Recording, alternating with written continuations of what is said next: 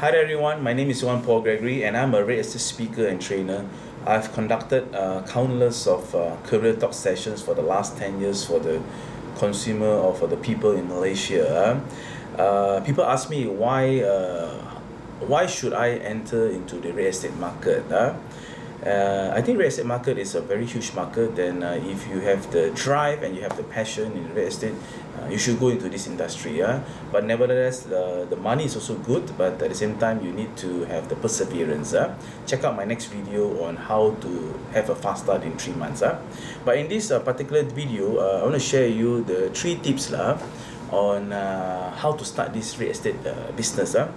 The first one, you need to have a plan and you got to take a plunge. I know it's not easy uh, to become uh, to move from employee to entrepreneur. Huh? Yesterday I was conducting a, a real estate uh, seminar and um, they are there to come and attend and to explore what are the career change. You know. All right, so I've been conducting this every month and at different various agencies throughout Malaysia. And uh, I told them you got to have a plan and you got to take the plunge. Sometimes uh, if you plan, plan, plan, plan, plan, but you don't take the plunge, you do not take action, it's also pointless. Huh? The second tip is that uh, you need to uh, find the right leader. All right, uh, finding the right leader is not easy.